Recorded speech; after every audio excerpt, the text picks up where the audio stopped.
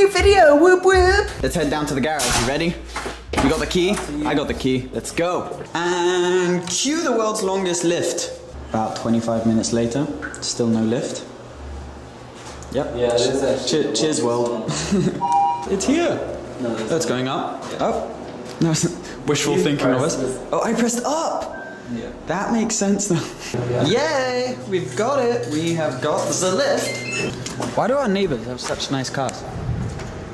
Maserati Ghibli, the, the Ghibli. So, if you may have seen on my Instagram and stuff, we have named the car Selena in honor of Selena Gomez. That's right, I said it. We did actually do that. Look, Selena's just chilling with the wing up, casual, no big deal. I'll tell you one annoying thing. Every time I get in the car, the seat goes back to like original spot. I don't know, so I always need to re put my seat in place, which is kind of annoying. It always makes me look like I'm I'm like I don't know how to work my car and I don't know how to switch it on. Hello there. You thought we were going. What? What are you doing? Okay. Anyways, you thought uh, we were going for a drive, didn't you? But we're not. We just moved the car to uh, this area so I could park like a complete idiot and then do this video for you, and you could see the car better. You may notice it's just been cleaned as well.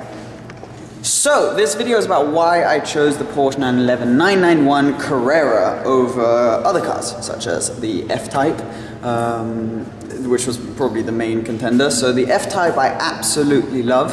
Uh, I think it's an absolutely fantastic car. I think it looks stunning, it sounds amazing. Um, the only problem with me, really, is that I often find myself needing four seats um, and a bigger boot. So, you may know that the F-Type Coupe um, has a decent boot, but the one I want, which is the V8, is a lot more expensive than I could get this one for. Um, so I didn't go for that, and also I only had two seats. Um, and the F-Type V8 convertible has a tiny little boot, so that doesn't work, and it's also got two seats. Whereas this one, I can attempt to show you, has okay. Let's not kid ourselves. It's not the world's most insane boot or trunk or whatever you call it, but you know it's a decent amount of space, so that's not too bad. That was one reason why I got this car. Now let's get all the boring reasons out of the way first. Um, the other reason was these bad boys, which uh, aren't huge, but they're good for short distances when you have like three friends with you and you need to go traveling somewhere. Um, another reason is on a more personal level. Uh, my grandfather had a 911, my father had a 911, um, and so I was like, I wanted to continue the family tradition and get a, a 911 hopefully. Um, so that's fantastic that I've been able to do that. It makes me feel really proud and shows that hard work pays off.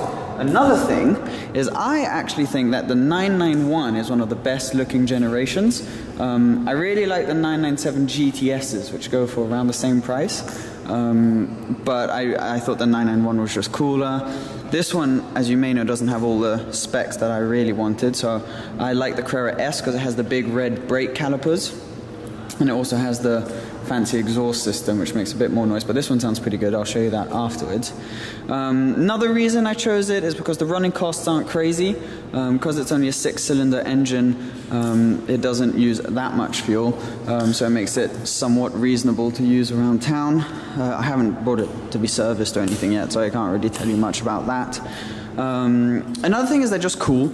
I think Porsches have this sort of classy appeal to them, um, which is very cool. And also they're very usable. So the front isn't that low, uh, which LA doesn't have the best road. So you'll see it doesn't have a lift system or anything.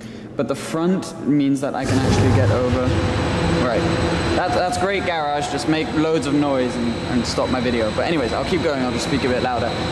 Front means I don't really need a lift system. Um, I can get over most bumps without scratching. A couple times you find yourself just gently um, touching the ground, but that doesn't really matter too much.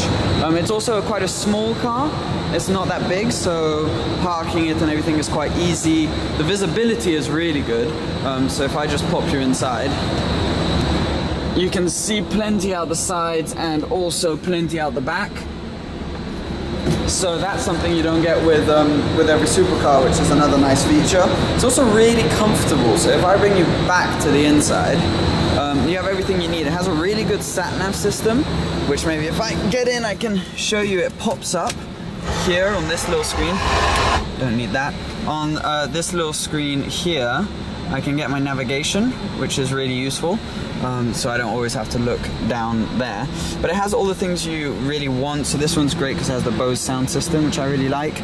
You can connect your iPod in the glove box here. There's a USB connector, um, which means that it makes it easy to play all the music you like, which was really important for me. It's got all the basic things, like it's got these cool cup holders, um, which I find quite cool, and not many people know that you can then close this back up, actually. Sort of a separate little area. Um, there's another one here for your passenger. Um, so all these sort of little geeky things I quite like and uh, are useful in a car you're going to use every day because this is my only car. Um, something else is with the weather here, you want to have a sunroof. So this one has the sunroof. Ideally, I'd get the convertible. Um, I don't think it spoils the lines. I think on the 997, the convertible means that it has like this little hump in the back, which I don't like as much. I think it spoils the lines a bit, but in the 991, they've managed to keep it very linear and keep that sort of 911 look, which I really like. So 991, ideally, I get a convertible, but I just couldn't find one in time. And yes, another great thing about this one, um, and the reason why I got this gearbox around town this is a great gearbox. You can just stick it in drive and it takes you anywhere. It's not juddery. It's very very easy. You barely feel the gear changes but if you want to uh, I'll need to start the car so you can you can pop it over to the right here. And then you have the choice of changing gear using the um, gear shifter knob thing or the paddles uh, which I really like because it sort of gives you the best of both worlds where you can um, cruise around traffic, but you can also have fun when you wanted to. It's also got great aircon. Uh, this one has heated seats and all of that. I'm not entirely sure if that's standard, but it probably is. You'd hope so. Um, and yeah, I mean, overall, basically it was because it was a car that a sports car that was exciting that I could use I could bring my friends in it had a decent boot it was usable every day I wouldn't have to worry about hitting the front splitter. Um, I also wouldn't have to worry about being horribly uncomfortable in it. Uh, and yeah I just thought you know what? It's really exciting keep going the family tradition and get this. So yeah I am so happy with this car. Uh, I've got loads of other videos planned like a POV around LA that sort of stuff um, hopefully I'll be doing another Los Angeles vs uh, London spotting challenge, which will be fun in this car. But yeah, so loads of videos coming. Thanks for all your support about this car. Um, it's meant the world to me. I'm so happy about this. It's a huge deal for me to have this car, and I'm just so, so happy and I feel very blessed about it.